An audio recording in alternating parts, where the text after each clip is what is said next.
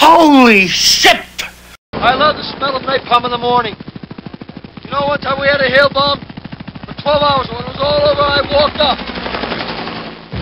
We didn't find one of them, not one stinking dink body. Smell! You know that gasoline smell? The whole hill. Smells like victory. Holy shnikes.